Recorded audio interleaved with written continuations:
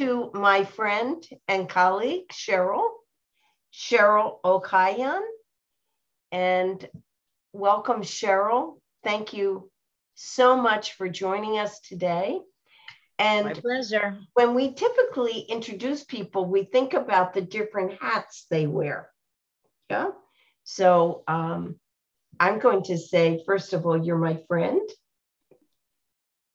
She's a mom, a grandmom, a wife, a Harvard Law graduate, uh, and um, made what we call aliyah, left for Israel, and practiced law. I just think this is so interesting in Jerusalem and was very successful, but had kind of like a little ache in her heart that she wanted to make a difference in education and joined Yad Vashem.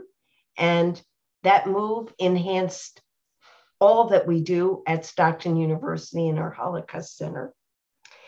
And um, I'm going to throw something at you because I know you can take throwing at you easily that we didn't talk about before that we've been using this word Yad Vashem, echoes and reflections. And many of us don't know what that means. Now, even that's a strange name, Yad and Vashem, no idea. And echoes and reflections, all I know about an echo is when I hike, I can echo and hear my, you know, when I shout out, hello, you know. So please, in the beginning, would you share with us a little bit about your hats? You can, and you can brag about your twins who are now nine months old, six months, six sorry, months. six months. We're not going to ask for a picture because by the time we get done, everybody will have their baby pictures up moms, dads, grandparents, etc. So we'll move right into what is Yad Vashem? What is echoes and reflections? And I'll make this all in one introduction, but I'm throwing a lot to you. Is that we have educators that come to us and say, How do I end all this? Or maybe it's just enough and I see this all the time. I only have two weeks to do Holocaust and genocide studies. And I'm going to focus this year on the Holocaust. So I think for the two weeks, I'll just, because it's really very interesting, I'll talk about the ghettos and the concentration camps. And we're always amazed. And I know Irvin and Matt, who work with me in the Holocaust Center, are now shaking their heads of how many students come to Stockton and want to know if Anne Frank lives near us because they never knew, they don't know the end of that story. They just read the diary.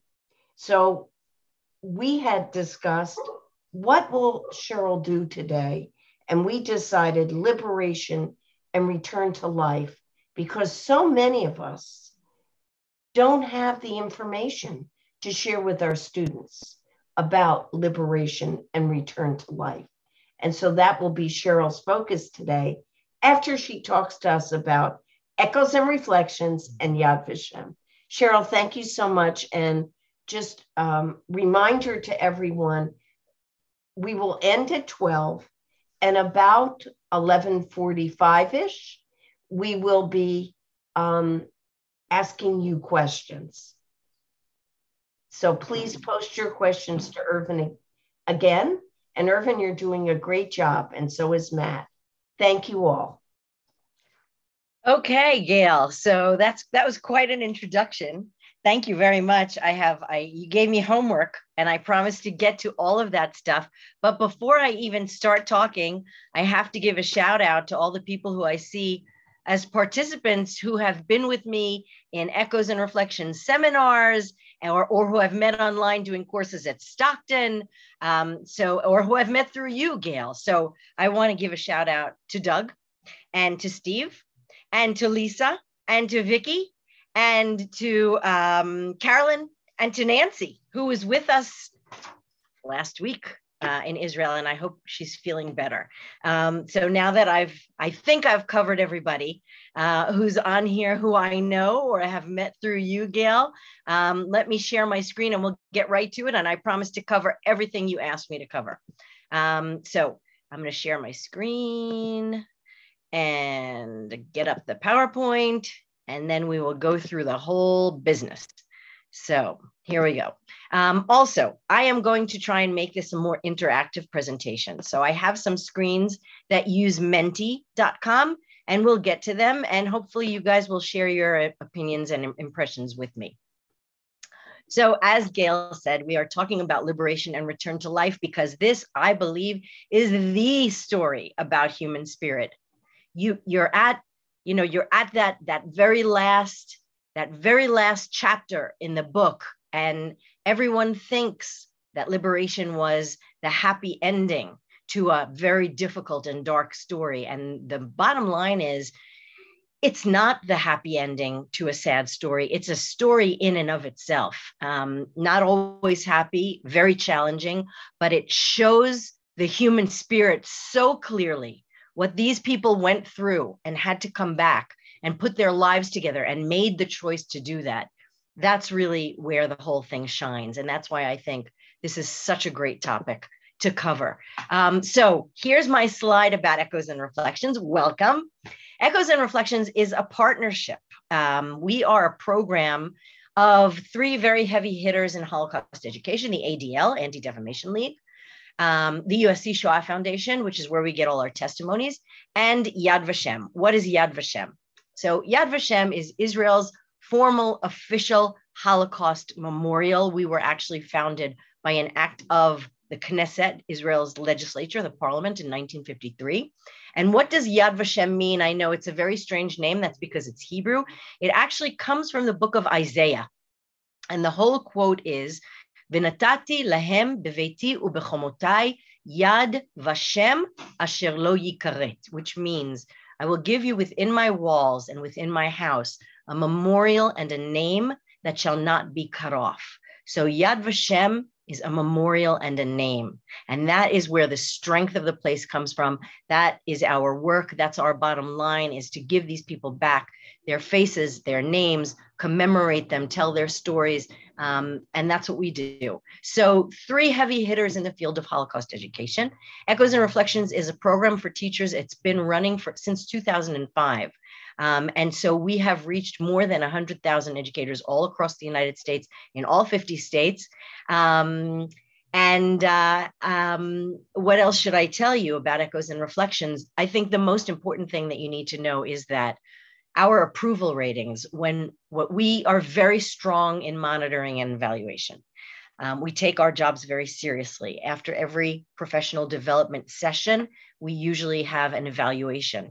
Um, and the, the great thing about it is that 98% of the teachers who are introduced to ECHOES would recommend it to their colleagues. And I think that speaks volumes for Echoes and Reflections. It's really that vote of confidence. Um, so without further ado, we're gonna, you know, we're gonna go, we're gonna get right into things. And these are the, I hope I covered all the questions, Gail. I hope I, uh, I hope I did you proud on that one. Um, and there's so much to talk about that I think we'll just get started. Um, of course, if you have any other questions about echoes, I, I should also say I'm going to take a step back. You'll see that echoes, and we'll be using the website. So my hope is that you will come out of here knowing the website better and being feeling very confident to use it because that's what we're trying to instill in you a sense of confidence when you teach about the Holocaust.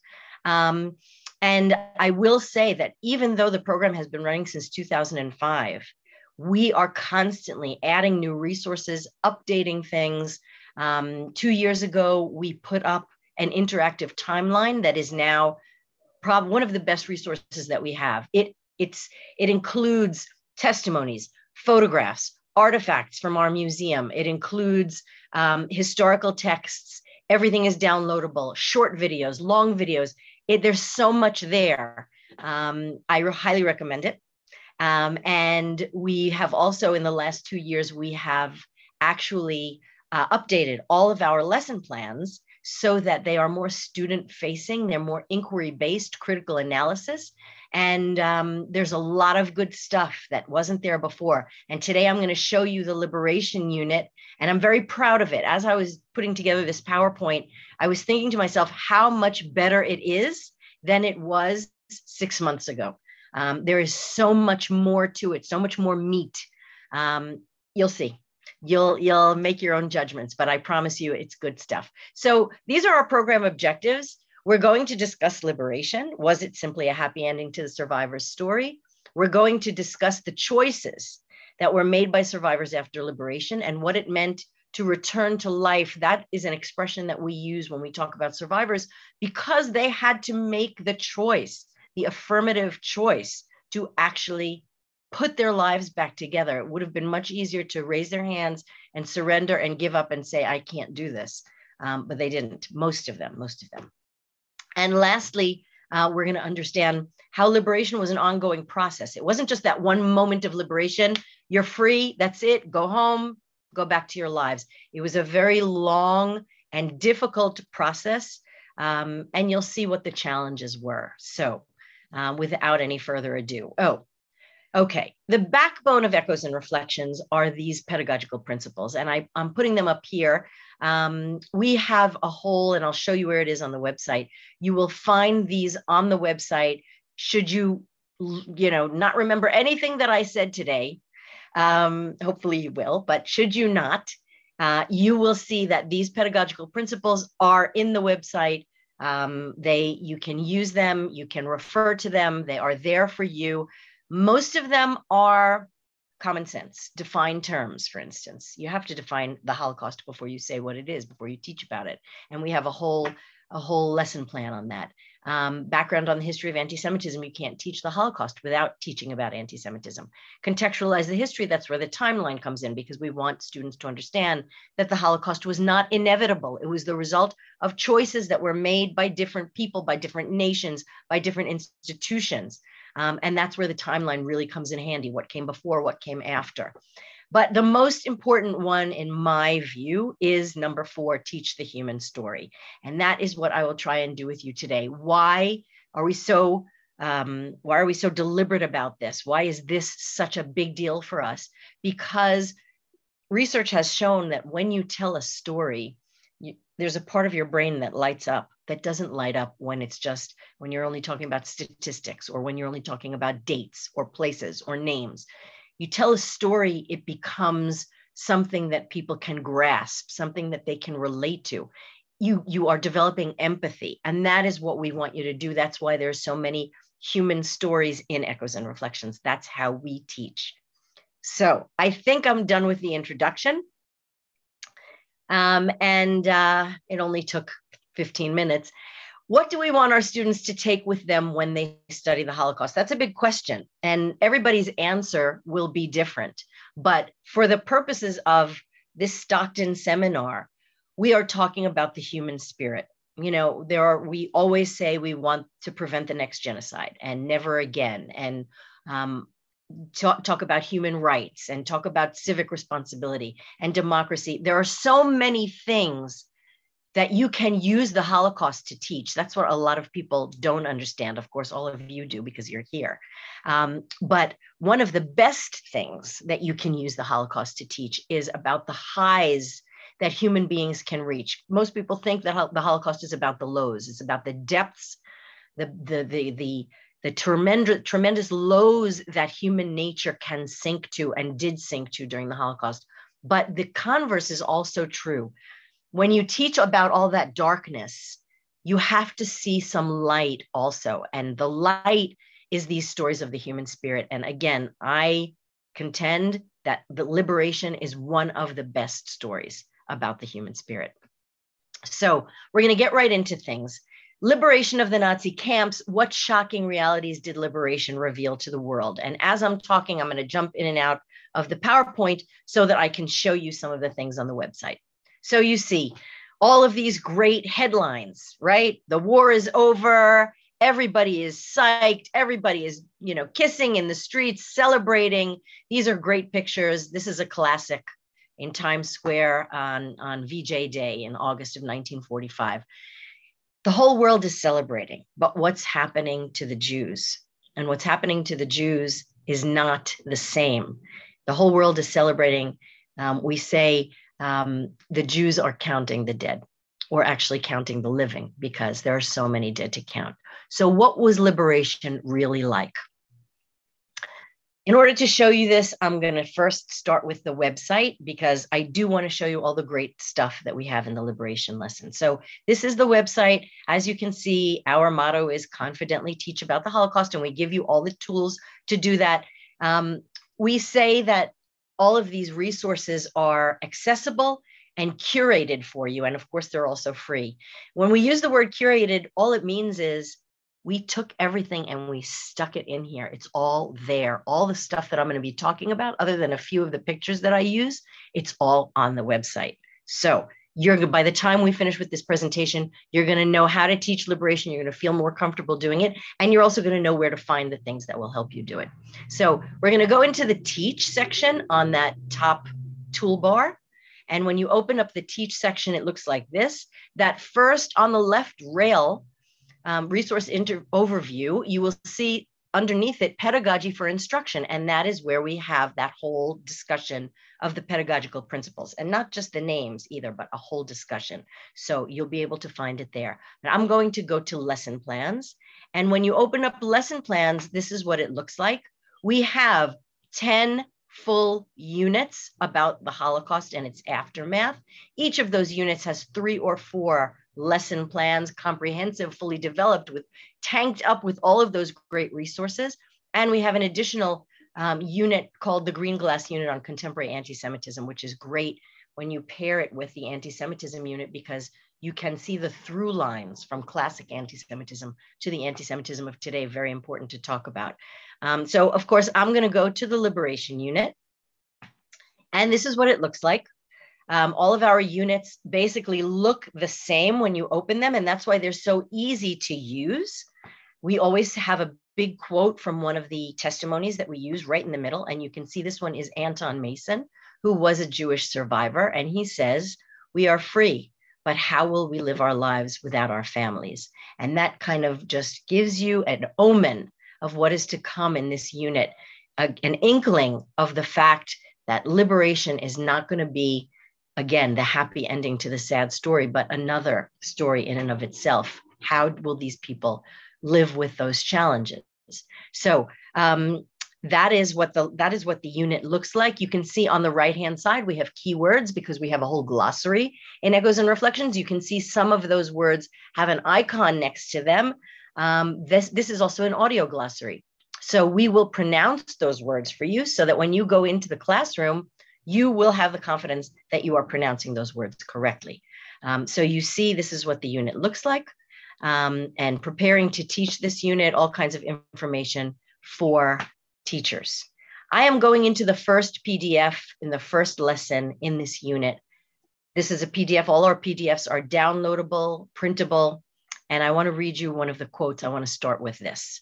Alan Moskin, who is an American soldier who liberated Gunskirchen, um, in Austria. And I had the great honor of meeting Alan um, a few years ago, said, I remember my buddies and I looked at each other. We knew Hitler wasn't fond of Jews, but we hadn't heard anything about concentration camps. So we're going to start with the perspective of the liberators. And that's how we're going to take you into this unit. Why are we doing it that way? Because this is a great connection to World War II history. If you're teaching American history, if you're teaching world history, this is a perfect way to connect it to the Holocaust. It's a bridge. This is what gets you in there. So you're going to talk about the liberators, you're going to talk about the American army, and then from there, you're going to shift perspectives from looking at what the liberators found to looking at the people that they had that contact with. And I also want to show you, going back to that first page of the Liberation Unit, we are going to be using the video toolbox. Um, we have six video toolboxes in Echoes and Reflections. If a unit has a video toolbox, it always appears in the same place so that you can find it. So now I am actually going to jump out of the PowerPoint and into the internet and you don't want to see my inbox. So we're going to get right out of there. Um, let me hide these floating meeting controls and we're going into echoes and reflections. Okay, so you've already seen how the website works. Now you're going to see me use it. We're going into Teach. And once Teach opens, we're going to go into the lesson plans.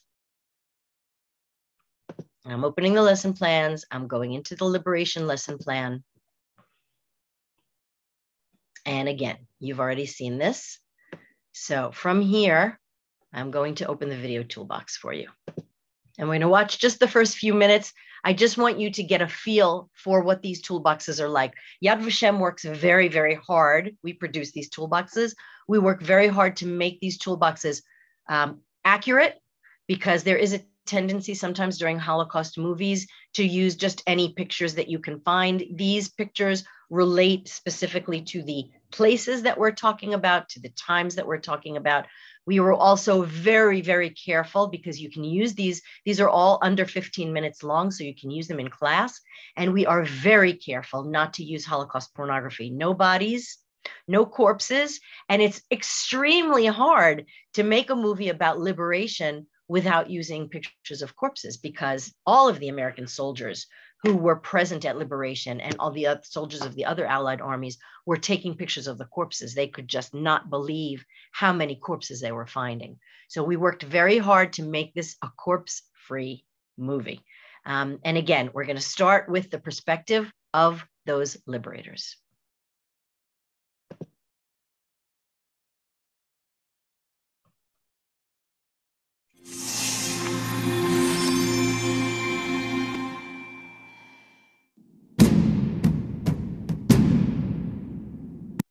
Sorry.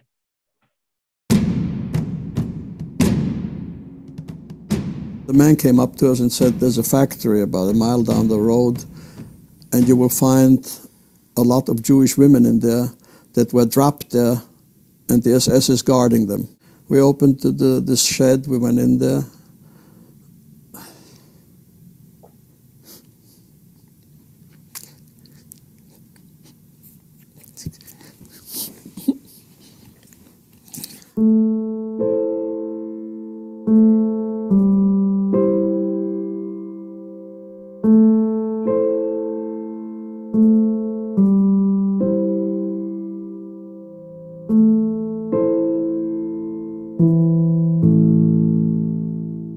fighting still raged in the Pacific Theater, World War II in Europe officially ended with Germany's unconditional surrender on May 8, 1945. Allied armed forces advanced across Europe in the war's final stages, relentlessly pursuing the retreating German army. As they did, they stumbled onto camps, often accidentally, that had been established and run by the Nazis and their local collaborators. The Soviet army, advancing from the east, liberated Nazi camps in Poland, including Majdanek and Auschwitz. The British and Canadians, advancing from the west, liberated Bergen-Belsen and camps in northern Germany. The Americans, our focus here, liberated Dachau, Buchenwald, and other camps. As their armies advanced across Europe, the Allies found thousands of people imprisoned in camps. They encountered piles of corpses and thousands of skeletal prisoners on the verge of death from malnutrition and disease. This was their first encounter with the horror of what would come to be known as the Holocaust. They began to understand that the Nazis had committed atrocities against civilians, the vast majority of them Jews, on an unimaginable scale and that these atrocities were very different from the deaths caused by conventional warfare. A new category of crime had to be recognized to describe the intentional attempt to destroy a people. This crime came to be known as genocide. The soldiers were the very first outside witnesses of the Holocaust, an unprecedented case of genocide.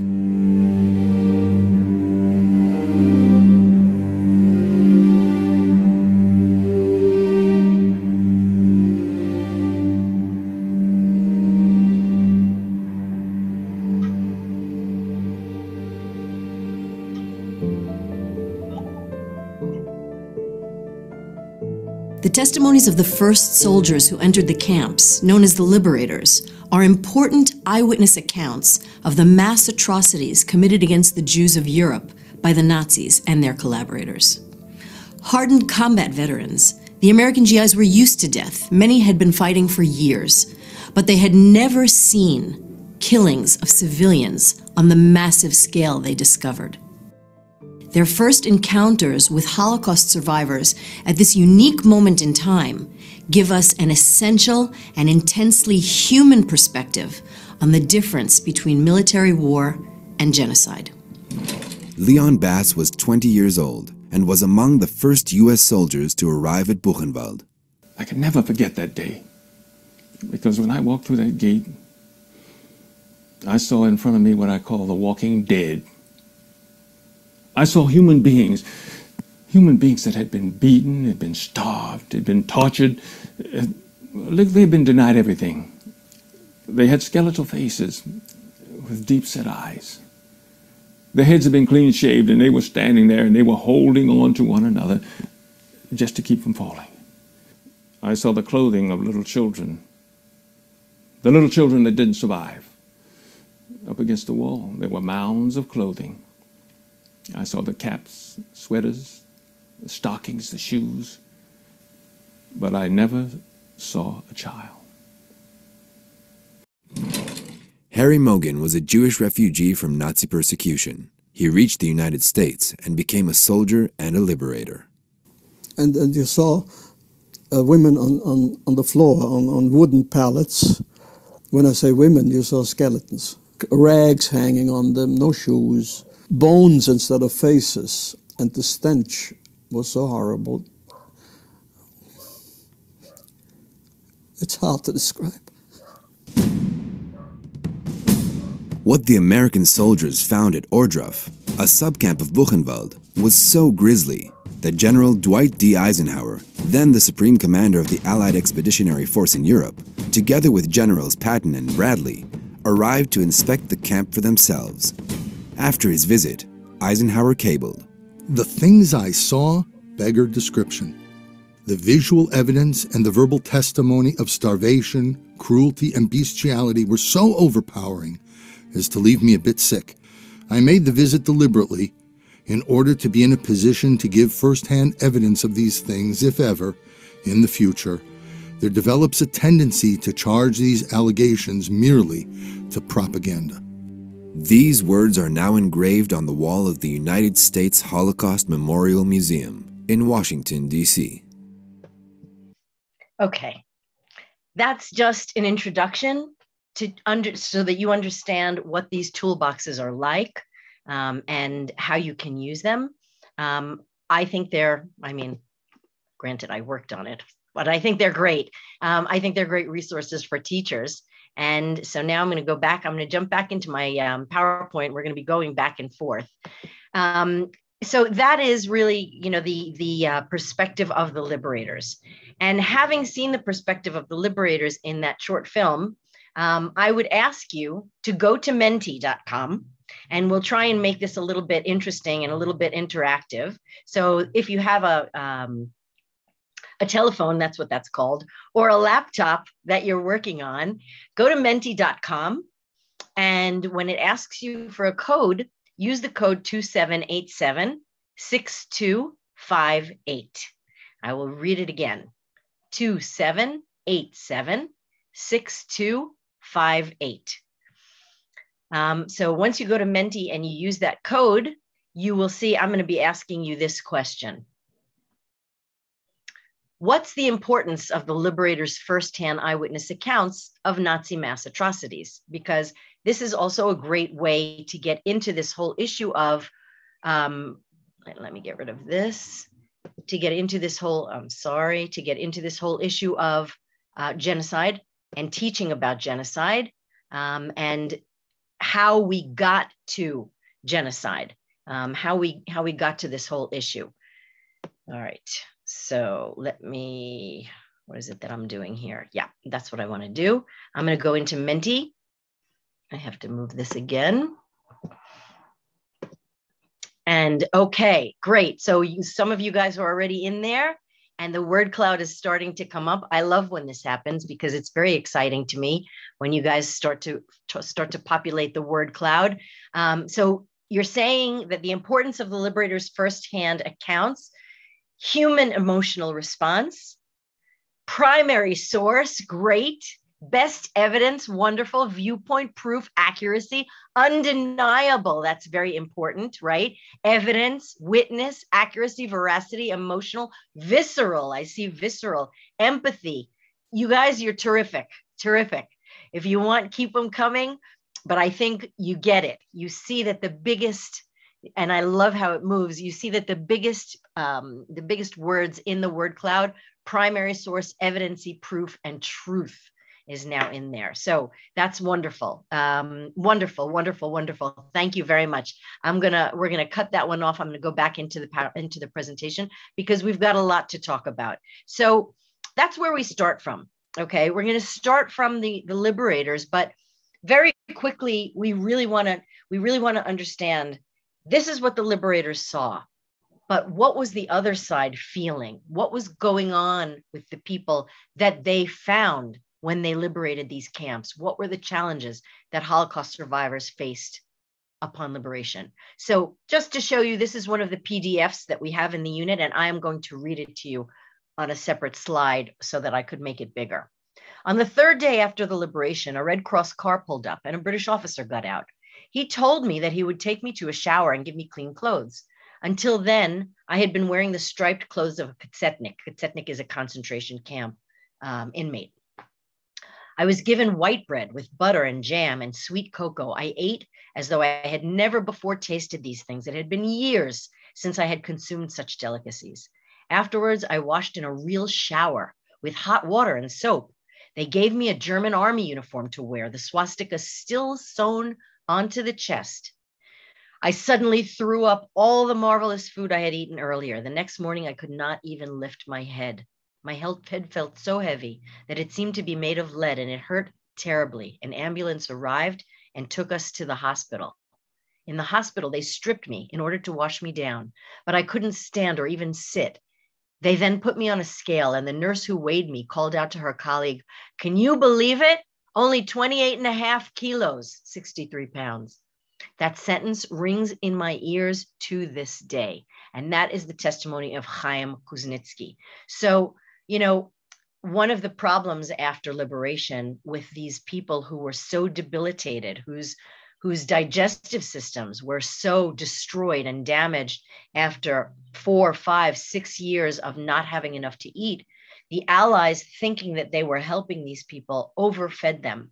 And we know, for instance, that at a place like Bergen-Belsen, 14,000 14,000 people died after liberation from overeating. So that's Chaim Kuznitsky's testimony. Um, this is also from that same PDF. This is the bottom part. So this is also in echoes. Take a look at the numbers, the statistics 75% required hospitalization, 20,000 suffering from dysentery, 10,000 tuberculosis, 3,500 came down with typhus, and 500 people every day died in the first weeks after liberation. That's tough stuff. That's tough stuff. Um, how will the survivors deal with this? One of the new testimonies that we put into the unit, aside from Chaim Kuznitsky's testimony, which is also new, um, you will see, is this testimony from Charlotte Cheney. And Charlotte, and I'm going to go back into the website to play this for you. Charlotte, you will see right down here, I'm going to scroll down and you'll see the whole thing being laid out for you. Here's the liberation of the Nazi camps, the first lesson plan, and you'll see how granular it is. We do all the work for you.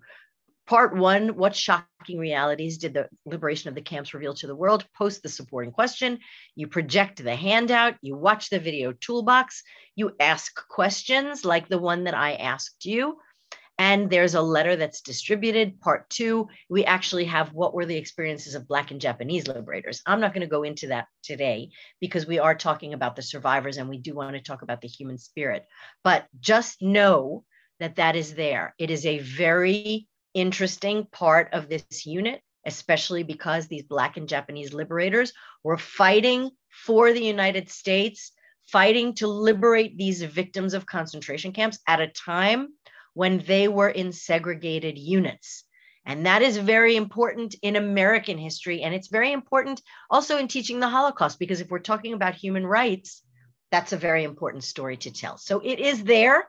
not going into it today, um, but you will see that it is there. And we do have a lot of testimonies, as you can see on the right rail, from Leon Bass and from, from Paul Parks and, um, and, uh, and one of the Japanese liberators, Katsugo Miho.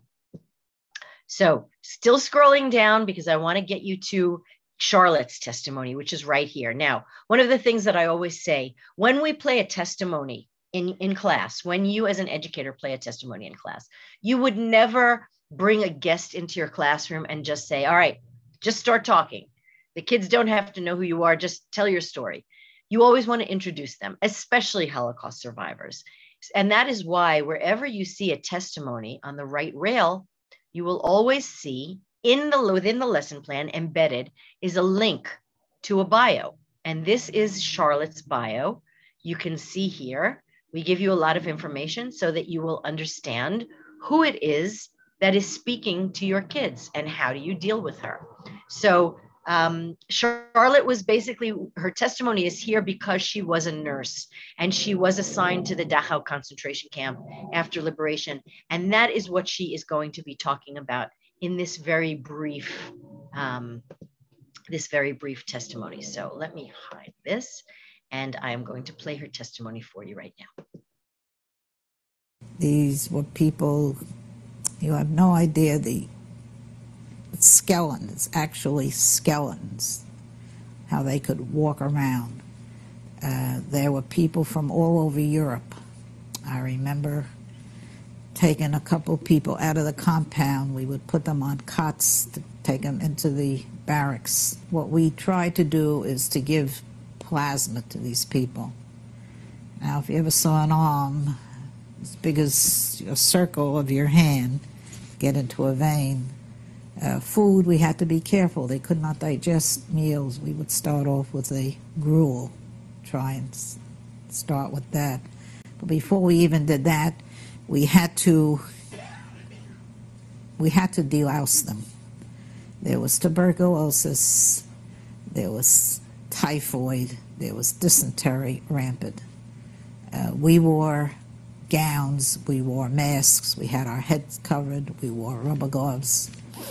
And at that time, the only thing that we knew of in 1945 was DDT, powder DDT.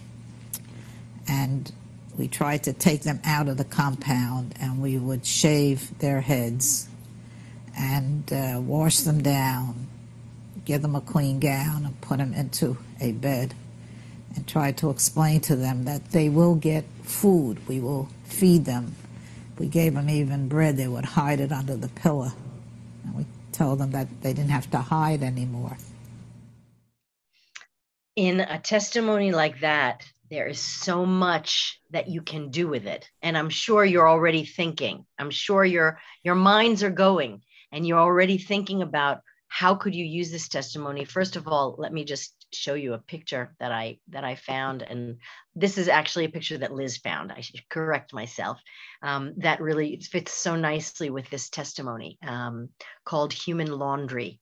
And you can see how thin these people were and when she describes being able to circle their wrists that's so tactile it's so graphic i think it, it really you can really see it. Um, and then when she says that they gave them bread, but these people used to hide bread under their pillows. Well, why? Why were they hiding bread under their pillows? Of course, we know the answer, but it's a great question to put to your students because they were so afraid of going hungry because they had been starving for so long. Um, so you're getting, we're starting to get into um, what's happening to these people. And we're starting to talk about really their experiences. And um, I want one of the new things again in the in the unit now that has made it such a much better unit than it was before um, is that we have three artifacts that we've included in the unit. This is one of them. This is a shaving brush. Um, we had a survivor um, from Sal- Salonika in Greece who used to come speak to us at Yad Vashem. Uh, he has since passed on. And his name was Jackie Handeli. And Jackie tells the story of how he was liberated by the British Army at Bergen-Belsen um, on April 15th, 1945. But he became friends with an American soldier named Joe Raspanti. And Jackie was the story as as I heard Jackie tell it. Jackie and his friends were looking for food, and they had chased. They had found a chicken, and chased it from the British area of Bergen-Belsen into the area where the American soldiers were. The chicken was running, and they were running after the chicken. And they, I guess, caught the chicken or came up against these American soldiers, and one of them was Joe. And what Jackie says about Joe is this he took us to the field showers, removed our clothes, and threw them into the fire. That's another great question to ask your kids. Why was it necessary to burn their clothes, right? You already heard about typhus and lice and delousing and DDT. We were given towels, and for the first time, I had soap, scented soap, and hot water. We took our towels into a tent where there were several soldiers. They laid a blanket on the ground and began throwing all sorts of things onto it. If they had two pairs of shoes, they threw in one pair, as well as chocolate, cigarettes, clothes, and underwear, everything that you could imagine. We got dressed in American uniforms and we received special food. Now, take a look at this shaving brush and think about this for a second. Jackie wrote on the bottom of the shaving brush, he wrote the date and that's backwards for Americans, but it's April 17th, 1945. So this is two days after he was liberated. It's such an emotional thing. Why does a survivor, and he held on to that shaving brush, okay? He held on to it until he donated it to Yad Vashem. Why would a survivor hold on to a shaving brush? Why would he write the date on the bottom? So if you've still got your Mentis open and keep them open because um, there are a couple more Menti instances that I'm going to ask you for. By the way, this is our artifact analysis, another great addition to the unit. This is a graphic organizer where we basically do a see, think, wonder analysis about those artifacts with the students. So again, it's all there for you to use. That's the beauty of echoes and reflections. So if you've got your Menti open, and again, the code is 27876258, this is the question that I want to ask you. What was the significance of this artifact to Jackie, to the Holocaust survivor? This is one of the questions that comes from the unit. And so I'm asking you, what was the significance? I know I have to advance the slide. Hang on, I will find it and I will get there. Um, what was the significance of this artifact to the survivor in question? And here we go. This is also going to be a word cloud. And you should be seeing it now. So, um, tell me you have three words. You can use three words here. What is the significance of this artifact to the Holocaust survivor? Because we're talking about return to life. We're talking about how they return to life. We're talking about hope. Oh my God. That's amazing. How it shows up like that right in the middle of the screen, so big. Thank you so much to whoever wrote that. Humanity. I'm sorry. You got me. Hope, humanity, personalized. Love, kindness. You guys are just bowling me over. Seen, somebody who is seen. Ownership, personal property for the first time. Amazing, amazing, you guys. Normalcy, that's so important because they hadn't had normalcy in so long. So, personalized hope, humanity, love, kindness, personal property, seen, ownership, normalcy and we've got humanity as the biggest term in there. Humanity returned met needs a love wonderful friendship. You did my heart good. I'm so glad i put this menti in the presentation. You really you got it. You nailed it. Thank you very much. I'm going to go back to the presentation. I'm going to catch my breath and go back to the presentation. You you really did it for me. Thank you so much. Okay. You got it so that's the significance of the artifact. Um, and now let's let's explore a little bit more what's going on with these with these survivors. Maria miriam akavia who is um, uh, a survivor who lived in israel um, this is one of a quote from her i thought i should be happy. I felt the tears but i knew i should be happy. I started crying all the time thinking what have i got left? So you're starting to understand where these people were when they were liberated, what was going on in their minds, they were in a very, very low place, very low place, because their humanity had really been taken away from them. And now, how do they get their humanity back? What will it take to make them human again? So, um, another terrific resource, brand new, that we have in this in this unit for you are three letters from a book called After All That Pain and Anguish First Letters After Liberation, that was edited by Rob Rozett and Yael Nidam Orvieto from the Yad Vashem uh, Institute for Historical Research. And I'm going to read one of them to you, okay? Um, there are a couple others. There are, they are very touching letters and they are first letters after liberation exactly as the uh, as the pdf says again this is a pdf that's printable downloadable etc undated my dearest brothers and sisters we received your letters from october 25th and 28th i am your sister chava who is writing this letter to you. Your sister who miraculously managed to escape the clenched jaws of the vicious dogs. What more can i say to you my dearests trust me i don't know where to begin. Shall I start with the monstrous crimes the fascist dogs committed, the many different methods they used to murder us all? You have surely read all about it. Those who never lived through these experiences are obviously incapable of comprehending them. We endured hellish years. Yes, my dearests, we are no longer human beings because we don't have any human feelings left except for the awful pain in our hearts. There is no solace for us, and there never will be until the day we die.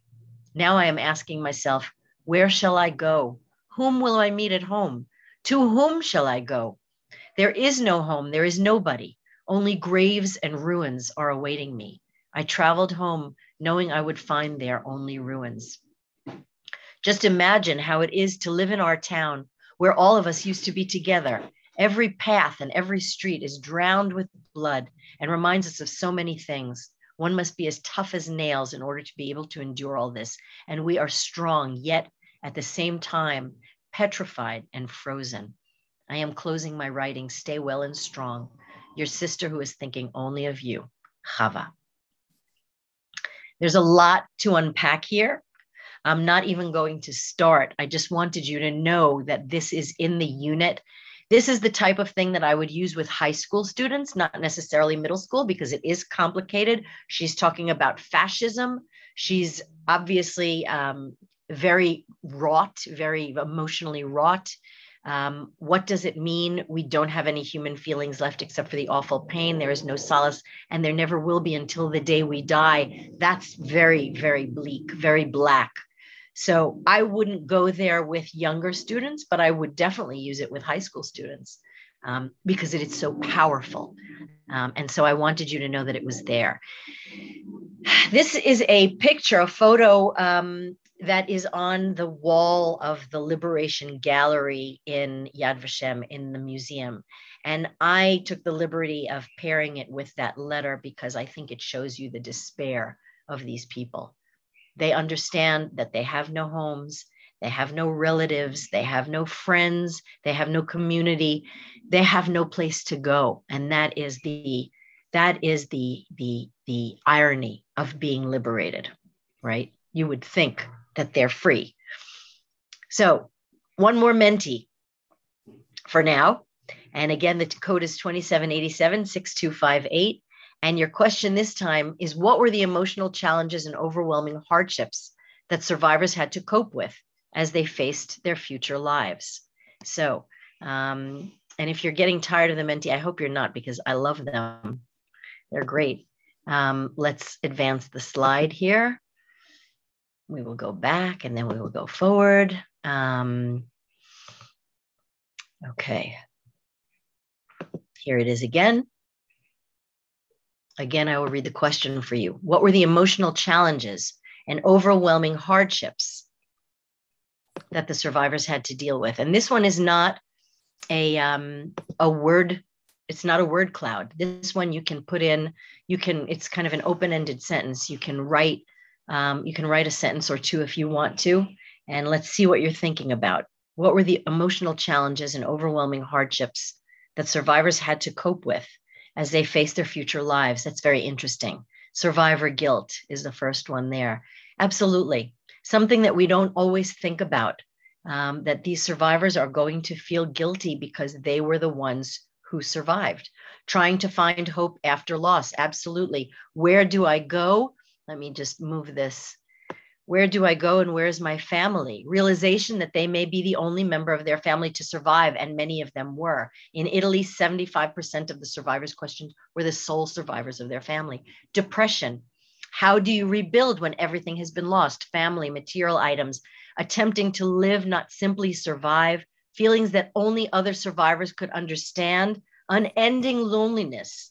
The survivors are faced with the unknown. Where do they go? Who will help them? I have nothing literally and figuratively how to go on depression, anxiety, lonely, loss of family, homes, and their way of life. You guys, you are terrific. Thank you so much because I see where your heads are and and they're in the right place. Um, I hope I'm not blocking anything else. Okay, um, that's exactly where that's exactly what we want everyone to be thinking about. And that's that's exactly what this lesson is about. So so now we have talked a lot about the horrors and the bleakness and the loneliness and and all of these terrible terrible overwhelming emotions that the survivors are feeling.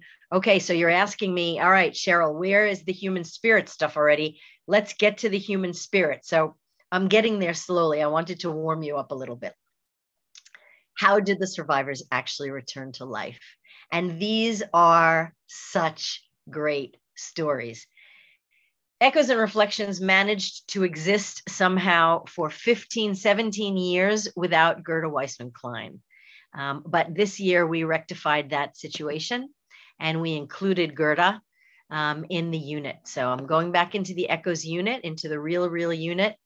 And I am, remember, we are scrolling down, scrolling down. How did survivors begin a return to life? And you can see we've got three different testimonies for you here that will take you um, into the answer to this question. We want you to know about Gerda. So here is her bio.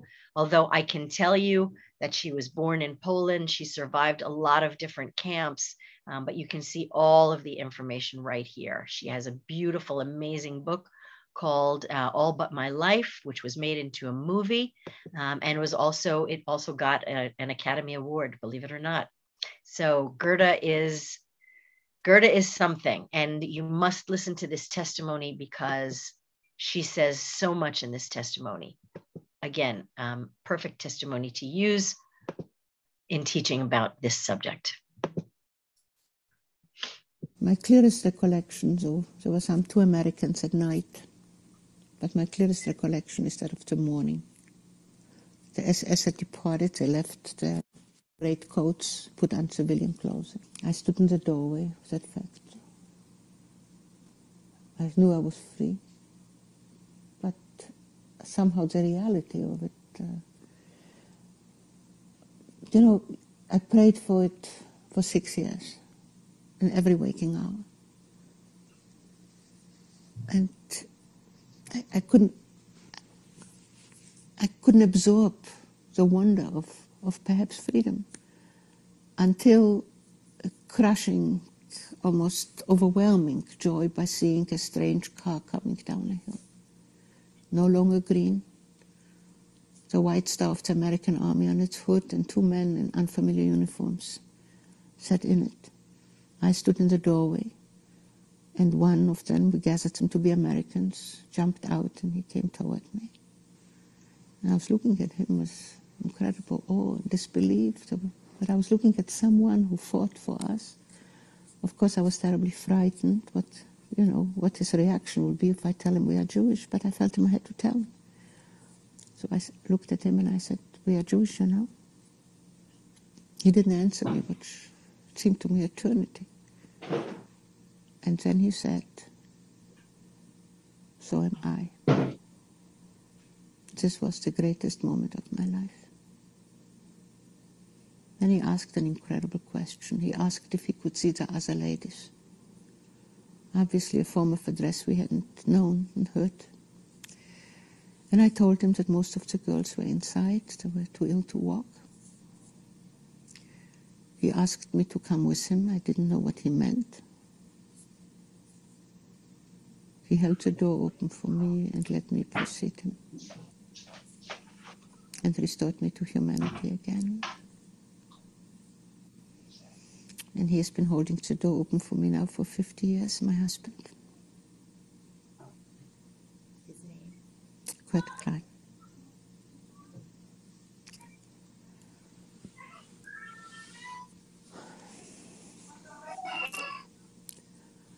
Well, pretty soon trucks came, Red Cross trucks. They took us into a makeshift hospital. I had the first bath in four years, five years. I, uh, all my clothes were gathered to be burned. I went into the lining of my boots. There were two things there. One, some poison, which I had bought in one of the camps for the last piece of jewelry that was sewn into my clothes. It was against the day when we would be put into a camp to apparently amuse Germans, and I knew that that I didn't need to keep my promise to my father. I'd kill myself first. I let it gladly go to destruction. And the other thing was a little bundle of the pictures of my parents and my brother, and Abek, which I carried in my boot. And that, of course, I saved. And uh, was given a bath and a red, not red, a blue and white checkered shirt, men's shirt, which was sort of like a nightgown. And taken to bunks with sheets, the first time I slept on sheets for years. And the nurse came and carried a tray with warm milk.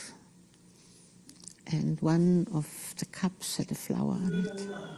And I desperately wanted that cup with the flower and I got it. And I started to drink the warm milk lying in bed. And this is when I started to cry, and I cried for days.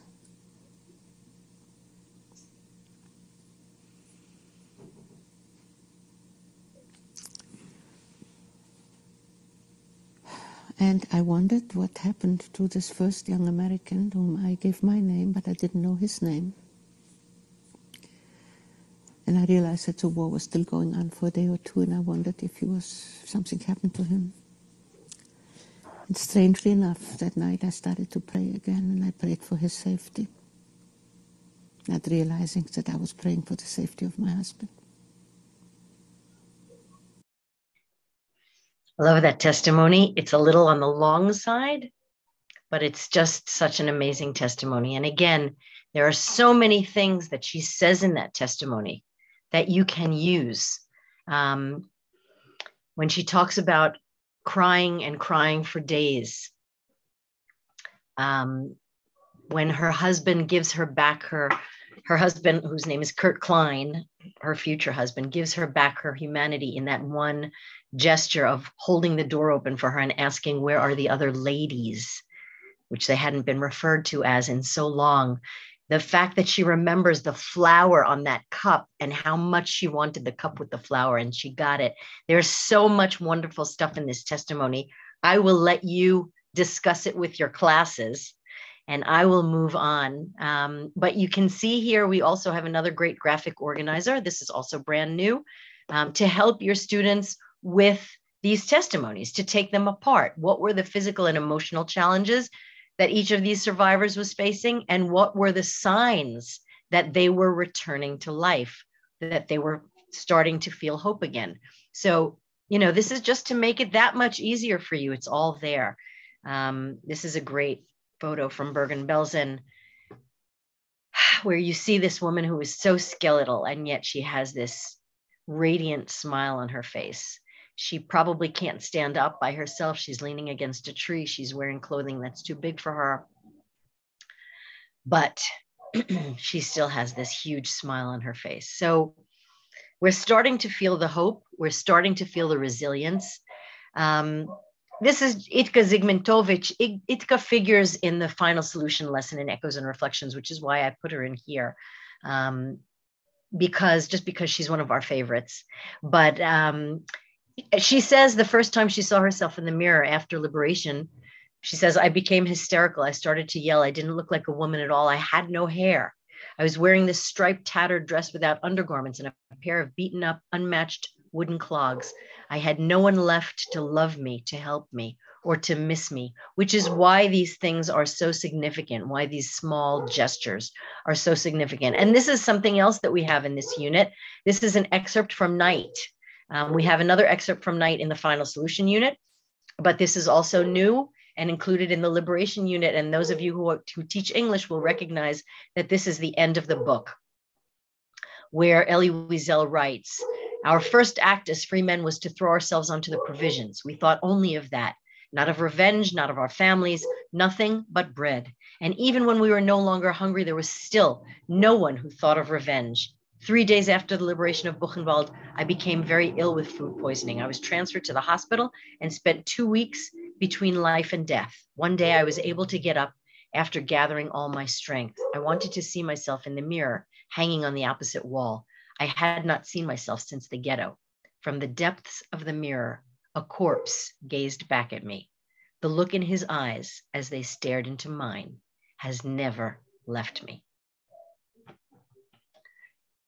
The power of those few lines um, is not going to be lost on your high school students.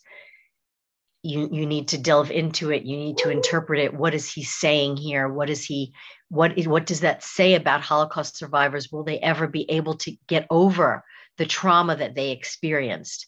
Um, you can really take it apart. You can sink your teeth into it. You can unpack it, um, and that's what we do in the unit.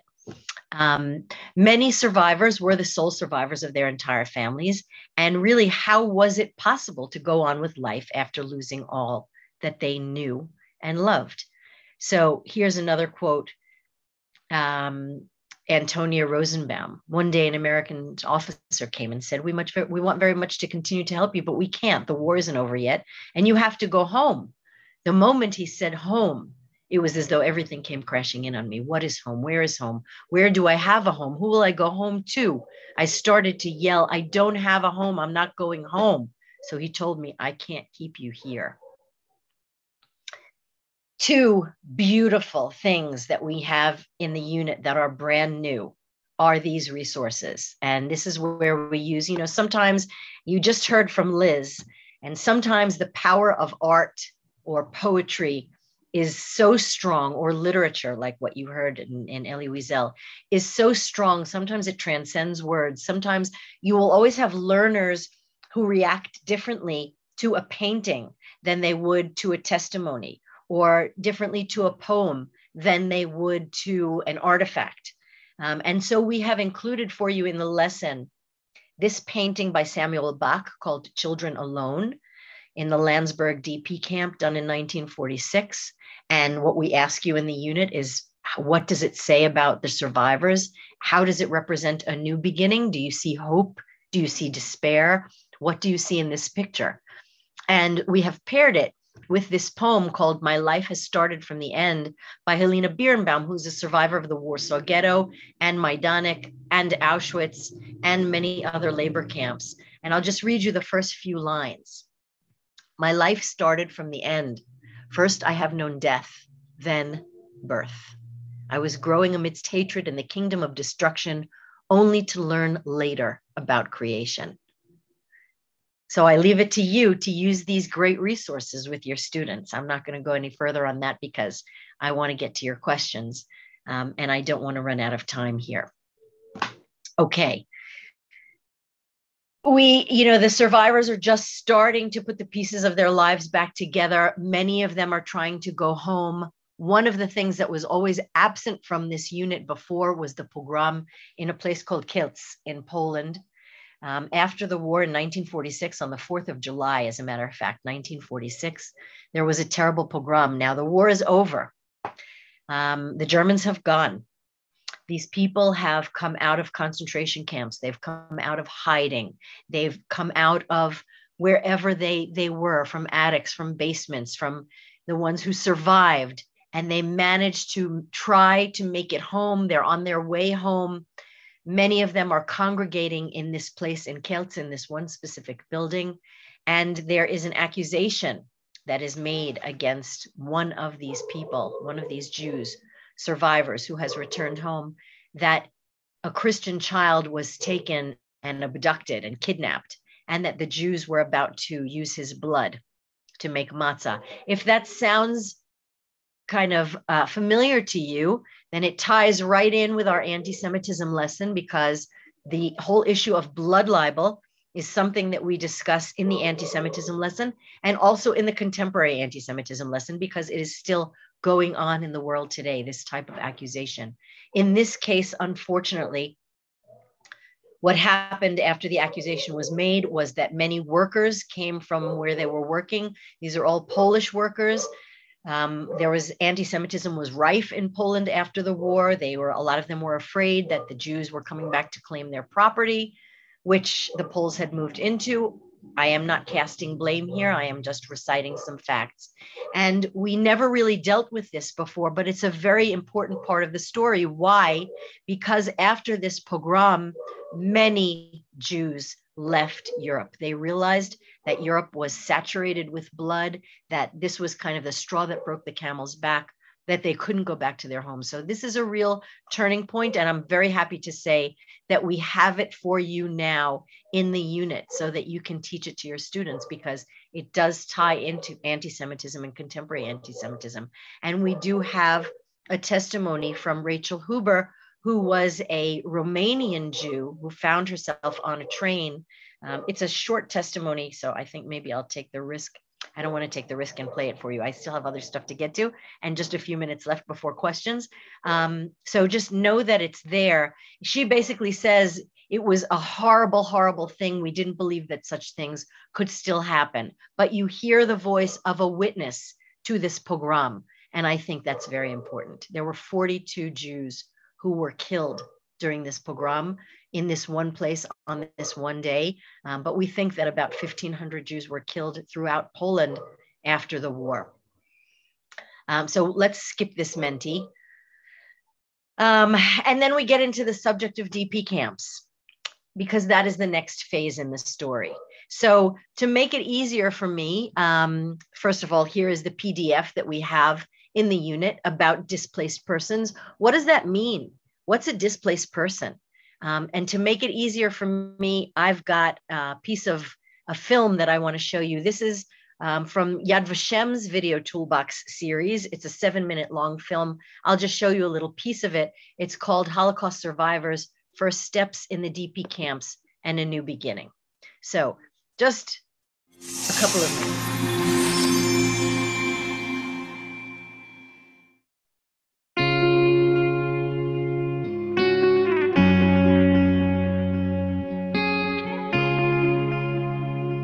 Many of the Jewish refugees saw Europe as the graveyard of the Jewish people. Wherever they went, they were reminded of the life that had been there before.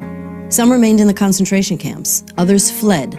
Some tried to get to mandatory Palestine, but the doors were closed by British restrictions. The United States, as well, had difficult immigration policies. Thousands in the end managed to get to South Africa, Australia, and South America. However, because of the excessive red tape, the increasing anti Semitism, the difficult voyages, there was no other option for many of these people but to congregate in camps that were set up by the Allies after the war. These camps were called displaced persons camps. Conditions in the DP camps, especially at the beginning, were very difficult. Some of the camps were located in former concentration camps. Some of them were even located in former German army barracks, so that many of the survivors were walking around behind barbed wire still in their concentration camp uniforms. Food and medicine were very scarce. The death rate remained high for weeks. And still, these refugees streamed into the DP camps. For many, it would be the place where they would take their first steps forward. In teaching about these first steps, we need to ask what are the things we take for granted that represented freedom to the survivors of the Holocaust? A book, a pen, a piece of fruit, a hot shower with soap, these were all basic things that had been taken away from those who had survived, so basic that it's hard for us today to grasp this. It was important and urgent to give them back their identity. Therefore, we learned their names, and when we managed to say, Good morning, Menashe, how are you, Mordechai? They were so surprised. They looked at us and could not believe that someone was calling them by name. It was not only the physical material things that needed to be restored, the survivors' faith in humanity, especially that of the children, also had to be restored. Children who had been abused, who had been hidden, who had seen death, had become very, very cynical of the adult world. Their confidence needed to be rebuilt. For instance, we can ask students to look at the poster that they see here and to try and find a deeper meaning beyond the simple act that they see. What is the adult doing besides trying to help the child put on her shoe? What does the child's body language say? Does she feel free to lean on the adult? Once children's faith in humanity was restored, once anyone's faith in humanity was restored, then these people could go ahead and start to try to rehabilitate their lives. Their thirst for knowledge is amazing. One fact is worthy of mention. Not a single pupil is late for class. They come without breakfast because the canteens open at 8.30, while school begins at 8. Anyone who is aware of the sensitivity to hunger of the former Katzetniks will appreciate their devotion to studies. For many survivors, culture and education were very important. We can ask, why were they so important when for many of these people food was still scarce, they were still in mourning, and the future was still very uncertain? For many of them, culture was what represented the bridge between their former lives. It connected them to their previous traditions. It was also a way to escape their reality. Education was the key to their futures. For instance, survivors in the DP camps published more than 70 newspapers. They had film screenings, they established sports clubs, there were theaters, there was art, there was culture. They also established schools to give the children whose lives had been interrupted vocational and educational training. In addition, they began commemoration projects. Okay, you get the idea. One, one thing that we have done in the unit again is we have taken some of these images from the DP camps and given them to you so that you and your, your students can interpret them, can see what you can see in them. You can use them to do a gallery walk um, you can use them in all kinds of ways, but all of these images are in the unit now. That film is not, that film is a Yad Vashem film, but you can find it online very easily. Um, and in the unit also is uh, Daniel Geslowitz. It's a very short testimony, so I'm going to play it for you because this is really one of my favorite subjects is what happens in these camps because remember that um, the survivors, many of the survivors, because they're all by themselves, they say, um, I'm alone, you're alone. Basically, let's be alone together. So I'm scrolling Sheryl, down. Sheryl, Yeah. I just want to say, look at the time. I'm I know, Gail. concerned because we have two minutes left, and I know you Oh. said you were going to uh, play a testimony, and I'm not sure. Okay. If you could just tell us about the testimony. Of course. Of course. To ask you. Of course. Of so course. outstanding. Thank Oh, you. Oh, sure. No problem, Gail. I was figuring on 10 minutes for questions, but this is fine too. We can do it like this. Daniel talks about he talks about marriage in the camps. And that's one of my favorite subjects because I who doesn't love a good love story, right? Um, so when you talk about weddings in the camps, you need to know that because these people were alone and they wanted to rebuild their lives, there were some days as many as seven or eight weddings in these DP camps.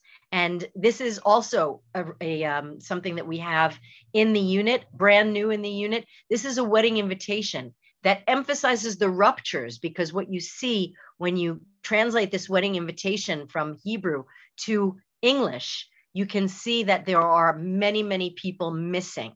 So the groom is the son of Yitzchak Cohen of blessed memory. The bride is the daughter of Rechtman of Lask of blessed memory. The wedding takes place in the hall of Bergen-Belsen. Um, so this was one of the DP camps. Um, you know, w- what we look to, for today in a husband or wife or spouse, if you're talking about a sense of humor, you're talking about beautiful blue eyes, you're talking about somebody who's tall, somebody who still has all their hair. Eh, there, we look for all different kinds of things today in a husband, wife, or wife or spouse. But then, back then, the survivors were looking for someone that they could lean on, someone who would understand them, somebody who went through the same experiences that they do, that they did. And these love stories are really lessons about resilience and the human spirit. And of course, once they start having, once they start, um, we're gonna we're gonna skip this, but once they start um, having getting married, they also start having babies. And I left out all the baby pictures that I have, um, not my baby pictures, but the baby pictures of the survivors afterwards, just because what I wanted to do was to show you another piece of the video. So I'll keep talking. Um, I'll talk over it maybe. People got married. No, I won't be able to. They would take a hot. Um, but you you will understand. Divided. In- uh, you will understand. I'm gonna let me just move all of these. We can hear your voice over it.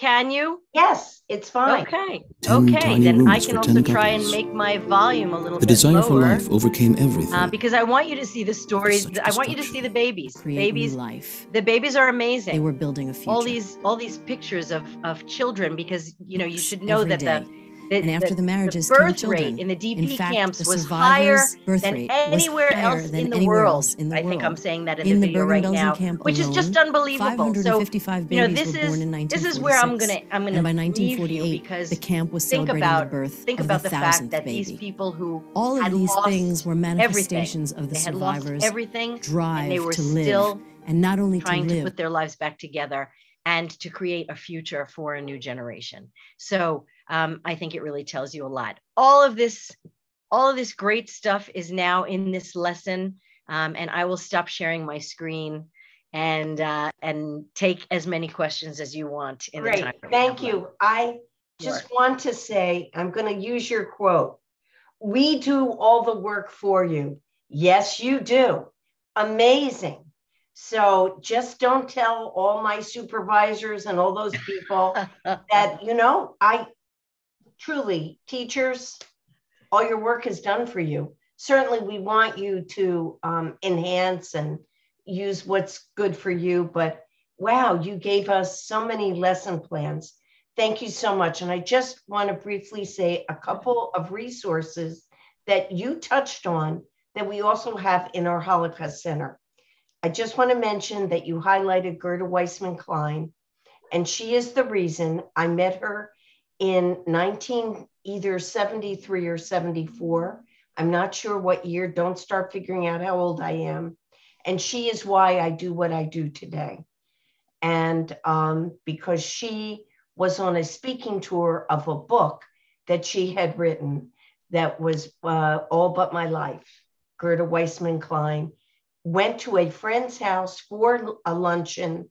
I was invited, and I met this lady with my brand new baby all those years ago. And she changed my life. And I said, This is what I want to do and continue to do.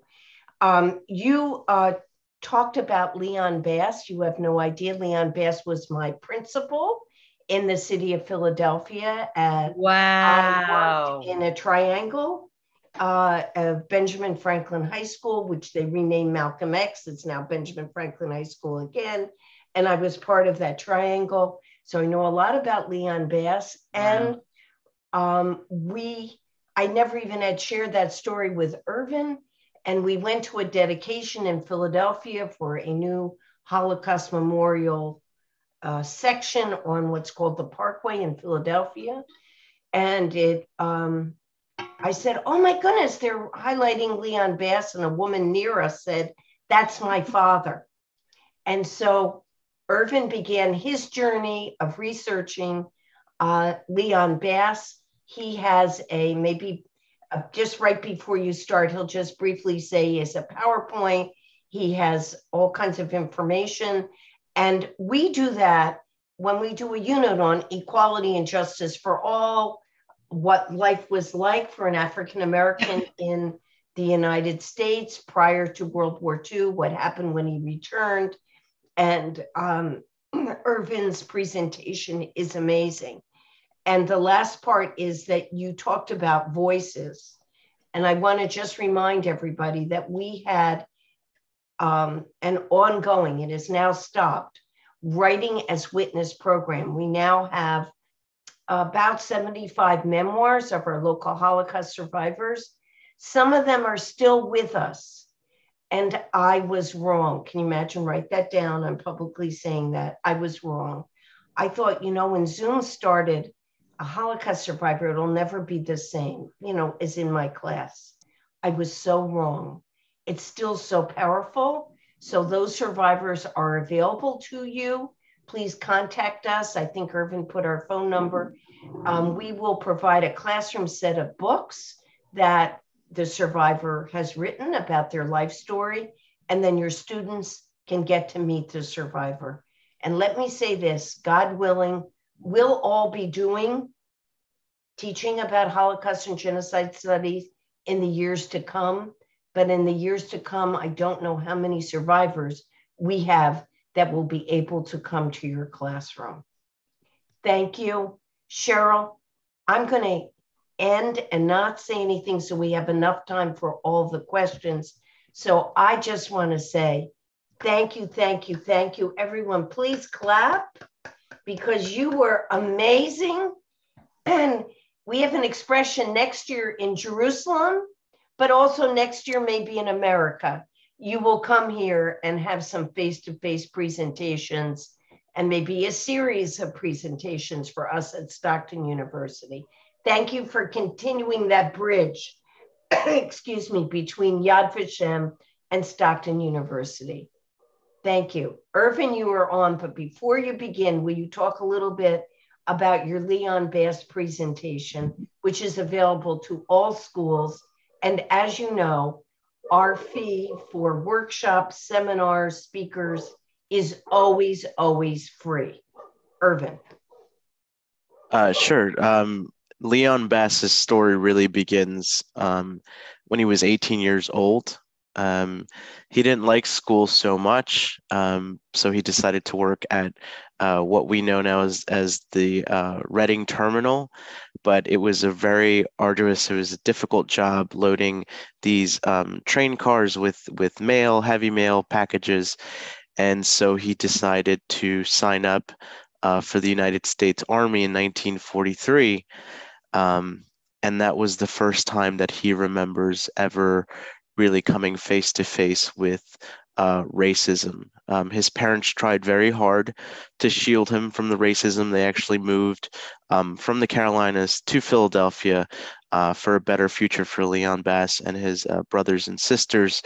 And so um, he's, you know, he he does talk about um, you know, not re- not really being confronted with that racism until he decided to join the United States Army, where um, him and his other friends were uh, segregated at the registration uh, station in Philadelphia, where he had to go with other uh, black men to um, um one side of the the registration um, field station house they called it and his white friends had to go to another side. So um, his journey um, going through the arm, army training and even in Europe, being uh, faced with this racism and and the difficulty he had sort of reconciling what he was fighting for um, you know at home and abroad. So um, there's a lot about leon bass online. I definitely um, I encourage everyone to look up his story, um, particularly his testimony on the in the USC Shoah uh, database. And I do have a presentation, which is, uh, uh, like Gail said, available for for anyone. We'll will you know in person or, or virtually. So thank, thank you. you. I just wish. I just have to say that I wish that I had known that you knew Leon and Irvin that you have such a great presentation because if you look at the end of this the film the liberation film that i showed you a clip of you will see that we talk more about leon and i worked very hard to get current pictures of leon talking to school groups which i'm sure you probably would have had i just didn't know to ask we'll connect you them. with his daughter who's lovely Great. no okay. it's already made gail it's too okay. late oh okay good for next time okay we're uh, you're on with questions and with everyone's permission, if we need to stay three minutes after, we will, because I want to make sure everybody has the opportunity to have their questions posed to Sheryl. Thank you. Uh, Sheryl, so the first question is um, How do I balance the topic of liberation and loss with positive outcomes or lessons? Okay, well, I think that's what we were here to do. Um, you balance the topic of liberation and loss with positive outcomes because most of these stories do have happy endings. There were, you know, there are always survivors who didn't come back from the abyss, um, but most of them did, and most of them made lives for themselves. Um, many of them were, many survivors were very successful. Um, many survivors are still with us and speak, still speaking to groups. Um, they they you know for for the survivors, I think the best revenge, we'll call it, was creating a family, raising a family, putting their lives back together. That's why I love the part about the weddings and the babies so much, because that in itself is the happy ending to this story. How did they manage to do that? That's the incredible part. But the the the human spirit comes through in the fact that they took this leap of faith and they they they chose to marry they chose to bring children into the world after everything that they had been through so you know i'm that's the direction that i always go in um families yeah mm-hmm. thank you and a follow up question to that is when do I introduce liberation and return to life if I, for example, only have a maximum of 10 lessons over a two week um, time span? That's problematic. And I understand that it's problematic, but I would devote some time to liberation because it ties up the story. It's the, you know, it's the circle. You have to close the circle um, if you are for instance if you if you find yourself using echoes and reflections for instance and you find yourself using itka Zygmuntowicz who came up on one of the slides um, in connection with her she didn't have any hair and she saw herself in a mirror for the first time Itka has a couple of testimonies in the final solution lesson. She was a prisoner in Auschwitz. She talks about her own resistance, where she wrote poetry in her head but it was very difficult for her to make it through Auschwitz. And her liberation story is also a beautiful story because after that moment where she screamed into the mirror, she had no place to go home to. She has also has a beautiful love story. She fell in love with her husband really quickly after liberation. They got married together with another one of her friends who fell in love with one of her husband's friends. It, I mean, it took them like a tiny, tiny amount of time and they got married right away. And they were together for a good 50 years it's a way to kind of go with that human story that you're telling to go all the way through take it all the way through if you're teaching for instance if you want to teach about warsaw the warsaw ghetto. You can use helena birnbaum's book um, um, all uh, hope is the last to die. Um, highly recommended. And you can tell the story of the warsaw ghetto. You can use the echoes and Reflections Resistance Unit to talk about the Warsaw Ghetto Uprising. And then you can spend a short amount of time using Helena Birnbaum's poem that we now have in the unit. Um, uh, My life began from the end. So even if you can only devote a half an hour to it, to tie up the stories, if you're telling a human story or if you're using a particular survivor, finish your unit with the story of their liberation and what happened to them after liberation because it does make them into a whole human being and it does show you the full extent of, of their Holocaust experience. I hope that helps. Thank you. Um, and then another question is Are the deaths post liberation reflected in the 6 million deaths, or are those numbers separate? Those numbers are separate.